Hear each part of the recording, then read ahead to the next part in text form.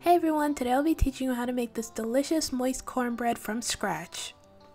The recipe I'm using is from Darius Cooks. He has a lot of great recipes and we use this cornbread recipe every year for Thanksgiving. I'll have his recipe and his YouTube channel linked in the description below. This cornbread is sweet, moist, and delicious, so let's get started with the video. In a large bowl, add 1 cup of flour, 1 cup of cornmeal, 1 cup of sugar. However, if you don't want it too sweet, add a half a cup of sugar or 3 fourths cup of sugar. Now add 1 teaspoon of salt and 2 tablespoons of baking powder.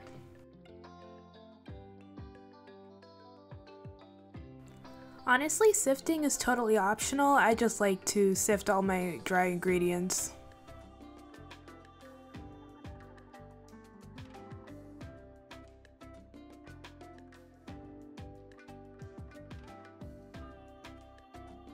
Now create a well in the middle of your dry ingredients.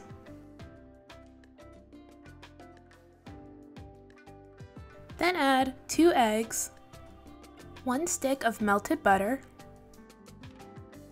and 1 and 1 4 cup of buttermilk.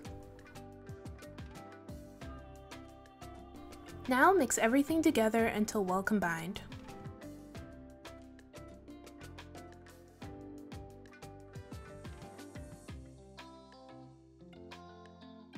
Next, fold in 1 cup of frozen corn kernels. You can also fold in 3 fourths cup of chopped pecans. The reason I didn't add pecans into the cornbread is because my brother doesn't like pecans, so we never added it, and now it's just become a habit to not put pecans in the cornbread when I'm using this recipe. Set your cornbread batter to the side and place an iron skillet in the oven at 350 degrees or at broil, just until it becomes hot. Take your iron skillet out and then add some butter. Your butter is going to melt in the hot iron skillet, so use that to coat your pan in the melted butter. This technique is also optional, I just saw a chef use it once and I thought it was really neat. I think I added too much butter though. Now add your cornbread batter into your iron skillet.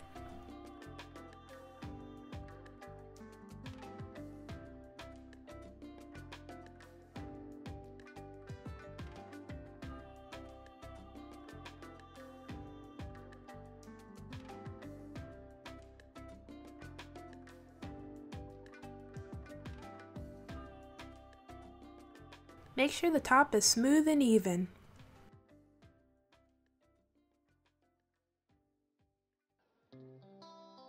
Now place your cornbread in the oven at 375 degrees for 35 minutes. While the cornbread is cooking, we're going to make our honey butter. Add one stick of softened butter in a bowl. Then add 2 tablespoons of honey,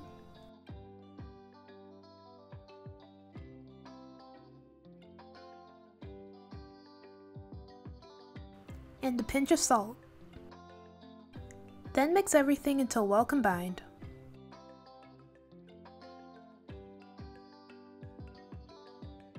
When you're finished, set it to the side.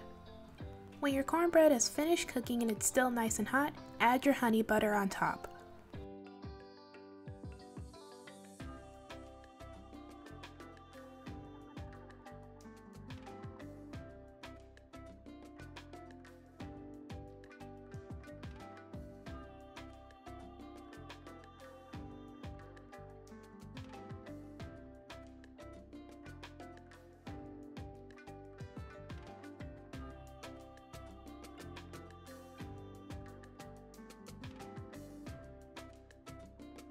And this is the finished result. This is a really good cornbread, I totally recommend giving it a try. The recipe I used is from one of his cookbooks, which I recommend you get because he has a lot of good recipes. Um, but the recipe that I'll link down below is from his website, which is slightly different. Like I said before, this cornbread is moist, sweet, and delicious. I really like adding the corn because it just makes it 10 times better. I hope you guys enjoyed the video. Thank you so much for watching. Everything I used in this video will be down in the description below. Don't forget to like, comment, and subscribe. Bye!